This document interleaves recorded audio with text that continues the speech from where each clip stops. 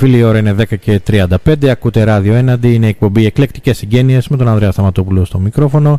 Και πάμε να καλημερίσουμε στην άλλη άκρη τηλεφωνικής μας γραμμής τον κύριο Γιάννη Σαρίδη, βουλευτή της πρώτης εκλογικής περιφέρειας της Θεσσαλονίκης με την Ένωση Κεντρών. Καλή σας μέρα, κύριε Σαρίδη. Καλημέρα, καλημέρα, Αντρέα. Καλημέρα στην πόλη μας. Καλημέρα στους ακροατές.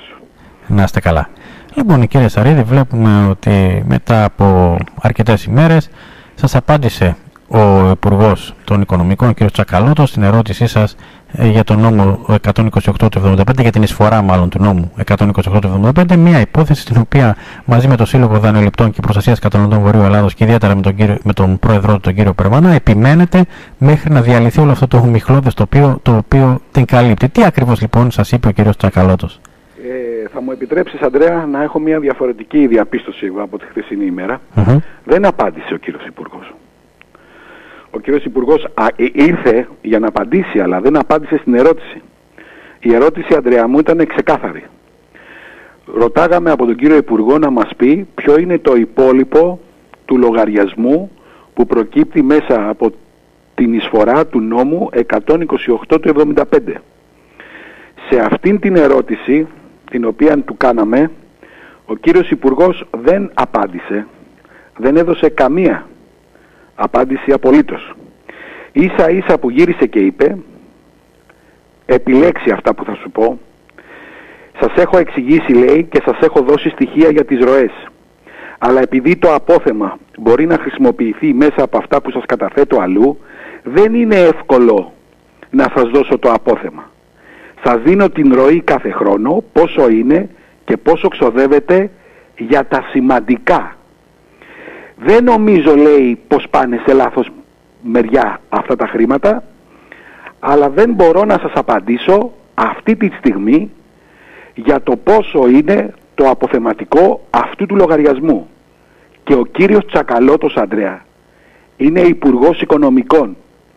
Την στιγμή που υπολογίζουμε το κάθε ευρώ, την στιγμή που παίρνονται μέτρα για μισθούς, για συντάξεις, την στιγμή που έχουμε τους ηλεκτρονικούς πληστηριασμούς και χάνει ο κόσμος στα σπίτια του, την ίδια στιγμή ο Υπουργός Οικονομικών δεν είναι σε θέση να μου απαντήσει για το ποιο είναι το αποθεματικό του τραπεζικού λογαριασμού της εισφοράς 128 του νόμου 75 που ουσιαστικά προκύπτει μέσα από τους δανειολήπτες.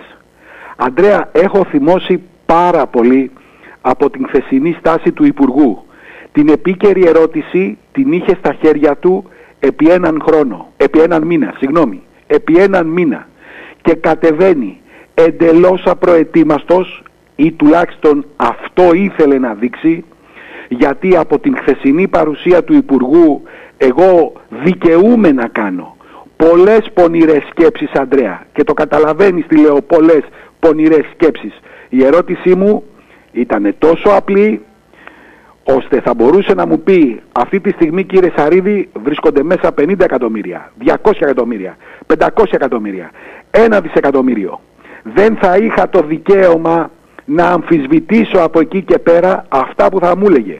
Δεν μου είπε Αντρέα, πράγμα που εμένα ναι με κάνει να σκεφτώ, θα το πω έτσι, ότι ενδεχομένως να μην έχει και τίποτα ε, δεσμεύτηκε ότι θα το ερευνήσει και θα σας πει σε μια προσεχή συνεδρίαση. Τι ακριβώς εγώ, εγώ στην απάντησή μου, στην, ε, έτσι όπως εξελίχθηκε η εχθεσινή ερώτηση, Αντρέα, ε, καταστρατήγησα τον κανονισμό της Βουλής και πήρα και τριτολογία, ενώ δεν έπρεπε να πάρω τριτολογία. Αλλά επειδή αρνήθηκε να μου απαντήσει στην πρωτολογία του ο Υπουργός, αναγκάστηκα να πάρω και τριτολογία ε, δεν δεσμεύτηκε να μου απαντήσει πουθενά. Το μοναδικό το οποίο γύρισε και μου είπε είναι ότι μπορούμε να το ξανασυζητήσουμε αυτό το θέμα και να προχωρήσουμε με συζήτηση και όχι με ερώτηση και σε κάποιες νομοθετικές ρυθμίσεις, σε κάποιες νομοθετικές βελτιώσεις. Κοίτα Αντρέα, μου παρουσίασε ένα νόμο, εδώ, εδώ, εδώ μιλάμε για τον απόλυτο εμπεγμό, για τον καθολικό εμπεγμό μέσα στις διαδικασίες του κοινοβουλευτικού ελέγχου. Πριν από δύο-τρεις μήνες είχα κάνει, είχα κάνει μια ερώτηση στον Υπουργό Και η απάντηση που μου, πήρε, που μου έδωσε ο Υπουργός ήταν ότι οι ροές από το 1991 είναι αυτές. Ε, ο Σύλλογος Δανειοληπτών Βορείου Ελλάδος γνωρίζει το, το, συγκεκριμένο έγγραφο του Υπουργού ε, κατά, από τα έτη 91 μέχρι το 2015 και οι εκροές είναι αυτές. Στη συνολική άφρηση των εισρωών και των εκροών εμένα ναι μου περισσεύουν 4,5 δις. 4,5 δις που δεν έχουν φύγει. Είναι χρήματα των δανειοληπτών αυτά. 4,5 δις. Σε αυτή λοιπόν την απάντηση που μου είχε δώσει είχε επικαλεστεί ότι από το 1991 με απόφαση του διοικητή της Ελλάδος την 1975 Σεπτέμβριος του 1991 οι εισφορές οι συγκεκριμένες είχαν καταργηθεί με ημερομηνία της απόφασης αυτής έναρξη 1η Πρώτου του 1992. Έρχεται λοιπόν εχθές και μου παρουσιάζει ένα νόμο Ανδρέα, ένα νόμο ο οποίος ψηφίστηκε τον Ιούνιο του 1992 τότε ψηφίστηκε ο νόμος ο συγκεκριμένος όπου πλέον ναι υπουργικός νόμος ήτανε όπου πλέον ξανα, ξαναεμφανίζονται οι εισφορές αυτές. Άρα λοιπόν άρεται η απόφαση του διοικητή της Ελλάδος του κυρίου Χαλικιά η οποία είχε πάρθει σχεδόν έναν χρόνο πιο πριν και πλέον περνάει σαν έσοδο του κρατικού προϋπολογισμού με βάση αυτόν τον νόμο και τις εισφορές του νόμου 128 του 75 των δανειοληπτών. Ποιο είναι όμως το σκάνδαλο κατά την γνώμη μου που θα ακολουθήσει εκ νέου κοινοβουλευτικός έλεγχος από την δικιά μου την πλευρά. Δημιουργεί έναν κωδικό όπου στον κωδικό αυτό λέει μέσα και θα το ψάξω σήμερα να το βρω Αντρέα ε, αυτό δηλαδή δεν, δεν μπορώ να το σταματήσω πληρωμές παύλα εις πράξεις πληρωμές ποιον; Εις πράξεις από ποιους; Πληρώνουμε ποιους με αυτά τα λεφτά; Με τα λεφτά των δανειοληπτών από το 1992 λοιπόν με τον νόμο των συγκεκριμένο πληρώνουμε ποιους; Δηλαδή το σίγουρο είναι ότι κάποιος πληρώνουμε, αλλά δεν ξέρουμε ποιος. Το σίγουρο είναι ότι με τα χρήματα των δανειοληπτών πληρώνουμε κάποιους, δεν ξέρω ποιους πληρώνουμε αυτήν την στιγμή που μιλάμε. Θα μπορούσαμε ίσως σε μια άλλη εκπομπή από εβδομάδα να είμαι σίγουρος και να σου πω ποιους πληρώνουμε. Θα ήθελα χρόνο δηλαδή πάνω σε αυτό. Αλλά για μένα ναι. Η άποψή μου είναι ότι είναι εντελώς, εντελώς παράνομο αυτό το οποίο συμβαίνει είναι κάτι το οποίο θάβουν οι ελληνικές κυβερνήσεις σε υποπαραγράφους υποπαραγράφων μέσα. Δηλαδή για να σου δώσω να καταλάβεις, αν δεν γινόταν ο κοινοβουλευτικός έλεγχος, δεν θα έπεφτε ποτέ στα χέρια μας αυτή η πληροφορία, η συγκεκριμένη πληροφορία, ότι από το 1992 έχει δημιουργηθεί αυτός, αυτή η διάταξη του νόμου. Παρόλα όμως αυτά, μένει το ερώτημα Αντρέα. Το 2002 όταν μπήκαμε μέσα στην Ευρωπαϊκή Ένωση, αυτή η εισφορά η οποία ήταν για τον αφέμητο ανταγωνισμό θα έπρεπε να καταργηθεί και δεν καταργήθηκε. Έχουμε λοιπόν τις ελληνικές κυβερνήσεις οι οποίες, αυτό είναι το συμπέρασμα που προκύπτει αβίαστα αυτή τη στιγμή που μιλάμε ενδεχομένως αύριο ένα, ένα διαφορετικό συμπέρασμα, αλλά αυτή τη στιγμή αυτό που προκύπτει είναι ότι οι ελληνικές κυβερνήσεις από το 1992 εκμεταλλευόντουσαν τα χρήματα των δανειοληπτών μέσω της εισφοράς και των επιχειρηματιών. Πρόσεξε Ματρέα, όχι, δανειολήπτες είναι και επιχειρηματίες, είναι και αυτοί που παίρνουν στεγαστικά δάνεια, είναι και αυτοί που παίρνουν καταναλωτικά δάνεια. Οι ελληνικές λοιπόν κυβερνήσεις χωρίς να έχουν ενημερώσει τους Έλληνες πολίτες χωρίς οι τράπεζες να έχουν ενημερώσει για το πού πηγαίνει η συγκεκριμένη εισφορά εκμεταλλευόντουσαν τα χρήματα αυτά βάσει με ό,τι τους σύμφερε. Ποιες τρύπες είχαμε να μπαλώσουμε Αντρέα, αυτές τις τρύπες μπαλώναμε. Μία άλλη ερώτηση η οποία θα προκύψει στα πλαίσια του κοινοβουλευτικού ελέγχου είναι να μας δείξουν στους προϋπολογισμούς τους οποίους περάσανε τον κωδικό τον συγκεκριμένο. Δηλαδή να μας πούνε, γιατί ο νόμος λέει ότι αποτελεί έσοδο πλέον του κρατικού προϋπολογισμού, ο νόμος ο οποίος εμφάνισε χθες ο Υπουργός, να μας πούνε δηλαδή πώς εμφανιζόντουσαν στον κρατικό προϋπολογισμό αυτά τα έσοδα όταν δεν ξήξερες ότι την επόμενη χρονιά Αντρέα μου θα είχες τόσα δάνεια άρα λοιπόν με καταλαβαίνεις πως το λέω Ναι, ναι. άρα λοιπόν θα προέκυπταν αυτές οι εισφορές Είναι ερωτήματα τα οποία οφείλει να απαντήσει ο Υπουργός και ο εμπεχπός που λέτε δεν είναι μόνο σε εσάς, είναι στους ανθρώπους που εκπροσωπείτε στον ελληνικό λαό λοιπόν. Οπότε, Αντρέα έχουν βγει από την χθεσινή παρουσία ενός Υπουργού α, ε, ατυχή, ατυχή η παρουσία του, ατυχέστατη η παρουσία του. Ε, έχουν προκύψει άλλα 30 ερωτήματα. Το κουβάρι Αντρέα το υπόσχομαι, το υπόσχομαι εγώ σαν Γιάννης Σαρίδης και προς το Σύλλογο Δανειοληπτών Βορείου Ελλάδος και προς όλους τους δανειολήπτες ότι το κουβάρι θα το ξετυλίξουμε. Θα το φτάσουμε μέχρι το τέλος. Εγώ στην τοποθέτησή μου εχθές γύρισα και είπα στον Υπουργό και δεν μου απάντησε ούτε σε αυτό. Το θεωρείτε λογικό; Για 100 εκατομμύρια να κόβουμε συντάξεις το θεωρείτε λογικό για 500 εκατομμύρια να χάνουν κάποιοι άνθρωποι τα σπίτια τους που δεν έχουν και παράλληλα δεν τους προσφέρετε την νομική προστασία την οποία χρειάζονται οι δανειοληπτές. Το θεωρείτε λογικό να έχετε στο ταμείο σας χρήματα τα οποία προέρχονται από τους Έλληνες δανειολήπτες και να τα, και να τα, και να τα κρατάτε για, θύματα, για τα θύματα των τρομοκρατικών ενεργειών, για τους πυρόπληκτους, για τους σεισμόπληκτους. Οι δανειολήπτες δηλαδή με τα χρήματά τους θα κάνουν την κοινωνική πολιτική του κράτους. Οι δανειολήπτες με τα χρήματά τους, Αντρέα, θα πληρώνουν μισθούς και συντάξεις όποτε δεν έχουμε να πληρώσουμε. Στην ε, πρόσφατη ε, ε, τοποθέτηση του κυρίου Τσακαλώτου πριν από λίγους μήνες είχαν ακολουθήσει μετά ε, σύμπτωση οι πλημμύρες στη Μάντρα. Πληρώθηκαν από αυτά τα χρήματα... οι- 5.000 ευρώ πήρανε, Αντρέα μου. Αυτά είναι τα χρήματα που Ναι, έχουν από πάρει. τα χρήματα, από αυτά την καβάτζα που έλεγε ή από, την αλλού; περιβόη- δεν ξέρω αν είναι από την περιβόητη καβάτζα. Εγώ θεωρώ ότι θα πρέπει να είναι από εκεί. Καθώς αυτή ήταν και η απάντηση του Υπουργού, αν θυμάσαι τότε. Ναι, βεβαίως, γι' Και αυτό τι ρωτάω. έδωσε σε αυτούς τους ανθρώπους, τι έδωσε Αντρέα μου, 5.000 ευρώ. Να κάνουν τι τα χρήματα αυτά οι άνθρωποι. Δηλαδή, τι, τι- τι- εγώ θεωρώ ότι όντως πραγματικά υπάρχουν χρήματα στο Ταμείο. Άντε να μην πάρουμε την πονηρή σκέψη ότι αυτή τη στιγμή ακόμα και το κοινωνικό επίδομα το οποίο έδωσε το, το, το Δεκέμβριο προέκυπτε μη από αυτά τα χρήματα. Δεν θέλω να κάνω αυτή την πονηρή σκέψη. Άντε λοιπόν ότι υπάρχουν αυτά τα χρήματα μέσα εκεί, τι δίνει σε αυτούς τους ανθρώπους ε, που, που, που έχουν πληγεί, που έχουν καταστραφεί για να ξαναδημιουργήσουν τη ζωή τους; 5.000 ευρώ.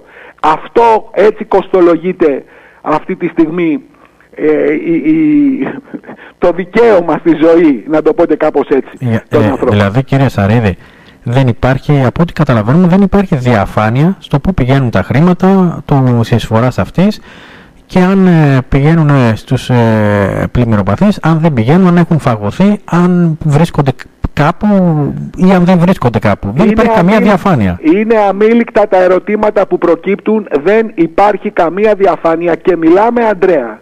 Από το 1991 μέχρι το 2015 οι εισρωές ήταν 9 δισεκατομμύρια και κάτι. 9 δισεκατομμύρια και κάτι. Οι εκροές προσεγγίσανε περίπου τα, τα μισά, τα 4,5 δισεκατομμύρια. Άρα λοιπόν οι εκροές είναι ένα άλλο ερώτημα. Πού πήγανε, ποιες είναι αυτές οι εκ- ε, εκροές; Ακριβώς, σημαντικό τα ερώτημα. 4,5 δισεκατομμύρια πού πήγανε; Είναι ένα ερώτημα το οποίο δεν έχει απαντήσει ο Υπουργός. Ούτε και χθες απάντησε γιατί γύρισε και μου είπε σας έδωσα, σας έδωσα τον πίνακα για τις ροές. Δεν έχω διαθέσιμα στοιχεία να σας πω για το πού πήγανε αυτές οι, οι, οι, οι ροές. Αυτό λοιπόν είναι ένα ερώτημα αμήλικτο. Ένα δεύτερο ερώτημα αμήλικτο. Αν δεν έχουν εξοδευτεί τα υπόλοιπα 4,5 δισεκατομμύρια, αν δεν έχουν, αν δεν έχουν πάει πουθενά, πού είναι Αντρέα, πού είναι; Ναι. Πόσο δύσκολο λοιπόν είναι για έναν Υπουργό Οικονομικών μην κοροϊδευόμαστε τώρα Αντρέα. Δεν δε, δεν θέλω, δηλαδή ε, είναι από τις λίγες φορές που έχω βγει έξω από τα ρούχα μου, να μην πω άλλη έκφραση. Δηλαδή, εσείς αποκλείεται το ενδεχόμενο όντως να μην μπορεί να βρει τα στοιχεία ο κύριος Τσακαλώτος; Είναι υπουργός Οικονομικών και όταν εμένα, όταν στον Έλληνα πολίτη του στερεί και το ένα ευρώ από την σύνταξή του για να καλύψει κάποια άλλα πράγματα, πρέπει να γνωρίζει Αντρέα. Είναι υποχρεωμένος. Αν δεν μπορεί να το κάνει να παρετηθεί Αντρέα. Επί έναν μήνα είχε στα χέρια του αυτήν την ερώτηση και ήταν πάρα πολύ απλή. Θέλω το μέγεθος, το αποθεματικό του συγκεκριμένου λογαριασμού. Δηλαδή, αν γίναγε Αντρέα να μου πει ότι έχω μέσα στο λογαριασμό 300 εκατομμύρια, 500 εκατομμύρια, 600 εκατομμύρια, εγώ είχα, είχα πρόθεση να, να θα μπορούσα να τον αμφισβητήσω; Εγώ η δουλειά μου σταματάει εκεί, να το πω και κάπως έτσι. Μετά θα πρέπει να βάλω detective. Mm-hmm. Να σας ρωτήσω λίγο. Μας είπατε για το μέχρι 2015. Από το 2015 μέχρι σήμερα ξέρουμε ότι έχει αλλάξει ο νόμος και όπω το είπατε και εσείς, να διατεθούν προς θύματα τρομοκρατικών ενεργειών, πυρόπληκτου κτλ. Γνωρίζουμε τα χρήματα που, έχουν, που υπάρχουν σήμερα στο Ταμείο, δηλαδή από το 2015 μέχρι Μα σήμερα. δεν μου απάντησε, Αντρέα μου. Ούτε, ούτε που έχουν εξοδευτεί, δηλαδή. Ούτε, ούτε, ούτε για... δεν μου απάντησε, Αντρέα. Ήρθε για να κάνει μια εκδρομή εδώ ο Υπουργός. Γιατί για, το, για τα προηγούμενα χρόνια, άντε να πούμε ότι είναι δύσκολο να βρει τα στοιχεία, αλλά για τα χρόνια που κυβερνάει ο ίδιος. Μα δεν απάντησε ούτε για τα χρόνια που κυβερνάει ο ίδιος. Θυμάστε, Αντρέα, το Σεπτέμβριο του 2017 μου είχε πει ότι είχα 450 εκατομμύρια. Πρόσεξε να δεις. 450 εκατομμύρια είχα εισπράξει από το 2015, 430 εκατομμύρια είχα εισπράξει το 2016. Από αυτά κάποια έχουν πάει, άμα μπείτε μου είχε μπει μέσα στο site του Υπουργείου θα δείτε ότι κάποια διατέθηκαν εκεί, κάποια άλλα εκεί, κάποια άλλα εκεί.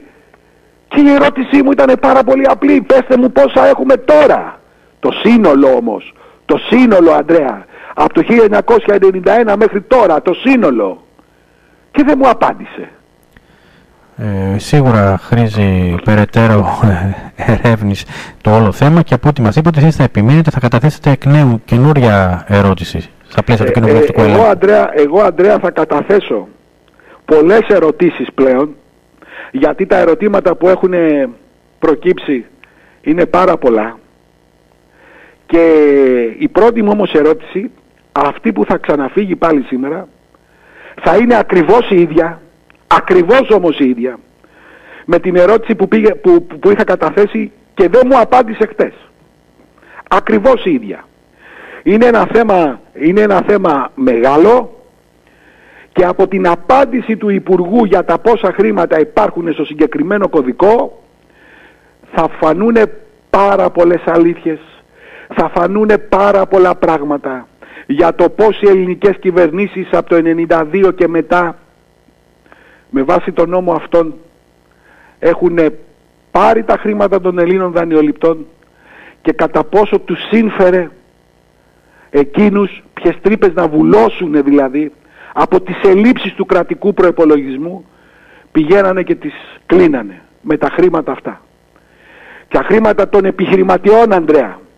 Όχι αυτών που παίρνανε ένα στεγαστικό δάνειο. Θα μου επιτρέψεις να σου κάνω, να κάνω έναν διαχωρισμό. Ο επιχειρηματίας που έπαιρνε μεγάλο δάνειο, με καταλαβαίνεις τι εννοώ, μεγάλο Άρα λοιπόν η, η, η συμμετοχή του στην εισφορά ήταν ακόμα μεγαλύτερη. Αυτός ο επιχειρηματίας που έπαιρνε το δάνειο του για να μπορεί να είναι ανταγωνιστικός στις εξαγωγές του πλήρωνε μία εισφορά η οποία ήταν εξαιρετικά μεγάλη και από την άλλη πλευρά το κράτος την έπαιρνε για να βουλώνει τις δικές του τις ελλείψεις. Αν δηλαδή δεν υπήρχε αυτή η εισφορά ο επιχειρηματίας δεν θα ήταν πιο ανταγωνιστικός είτε στο εξωτερικό είτε στο εσωτερικό Ανδρέα. Και μάλιστα δεν ξέρουμε αν ανατοκίζεται κιόλας αυτή η εισφορά άμα όταν κοκκινίζει ένα δάνειο. Έχουμε, έχουμε πάρα πολλά πράγματα, έχουμε πάρα πολλές ερωτήσεις να κάνουμε στον Υπουργό.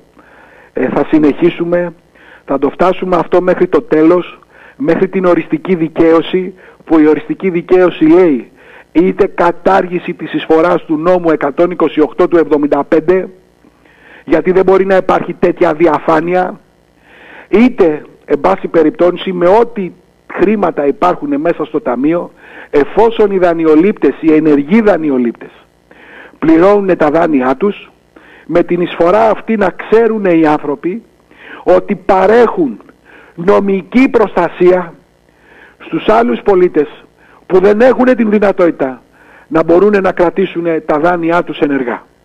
Και βεβαίως να μάθουμε πού πήγαν όλα τα χρήματα μέχρι τελευταία δραχμή από το 91 μέχρι θα σήμερα. Τα μάθουμε, θα τα μάθουμε όλα Αντρέα, χρόνο να έχουμε, δύναμη να έχουμε και θα τα μάθουμε όλα. Οπότε, θα τα μάθουμε όλα. να ευχηθούμε καλή δύναμη κύριε Σαρίδη και να σας ευχαριστήσουμε πολύ για τη συνομιλία. μου στον πρόεδρο να δώσεις από τον πρόεδρο. Να είστε να καλά. είναι καλά, δίνει και εκείνος έναν μεγάλο αγώνα. Να είστε, να είστε καλά, ευχαριστώ πολύ. Γεια σας. Ευχαριστώ.